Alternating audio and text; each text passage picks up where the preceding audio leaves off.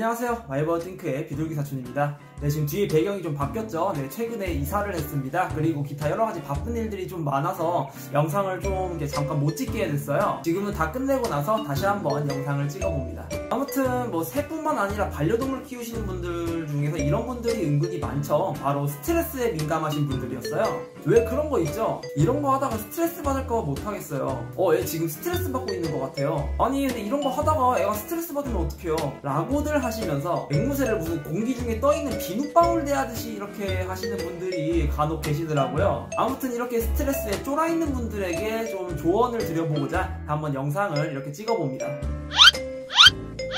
과보는 금물이다라는 말 한 번쯤은 들어보셨죠? 네, 저도 그런 말을 한 적이 있고요. 그건 단순히 추위나 뭐 기타 생리적인 문제뿐만이 아니라 스트레스에서도 마찬가지입니다. 스트레스 물론 신경 쓰일 수 있어요. 하지만 그 스트레스에 민감하게 반응하는 것 또한 그렇게 좋지 않습니다. 스트레스를 받고 있다고 해도 주인으로서의 통제는 확실하게 하셔야 돼요. 이거는 여러분들이 키우는 앵무새가 어떤 성격을 갖고 있냐를 떠나서 그냥 주인으로서의 역할이다 라고 생각을 합니다.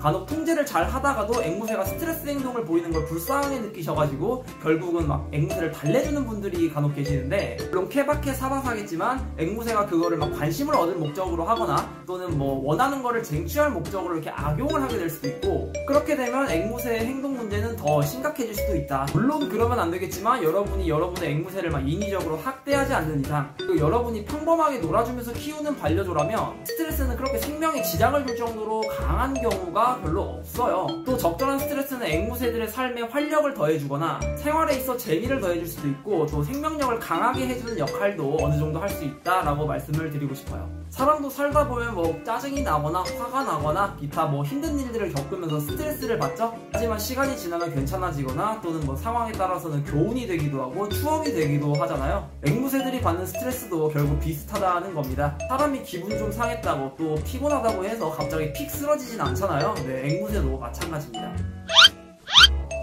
앵무새가 스트레스를 받은 듯한 낌새가 보인다고 해서 너무 걱정하지 마세요. 앵무새 입장에서는 그냥 삶의 에피소드가 생겼을 뿐입니다. 다시 말하면 사회화가 진행되고 있는 경우일 수도 있다는 겁니다. 물론 정도가 너무 심하면 문제가 될 수도 있겠죠? 만약 여러분의 앵무새가 스트레스로 문제를 일으킨다면 단순히 앵무새를 달래주려 할 게 아니라 네, 주인으로서 정확하게 컨트롤해야 된다는 것을 네, 잊지 않으셨으면 좋겠어요.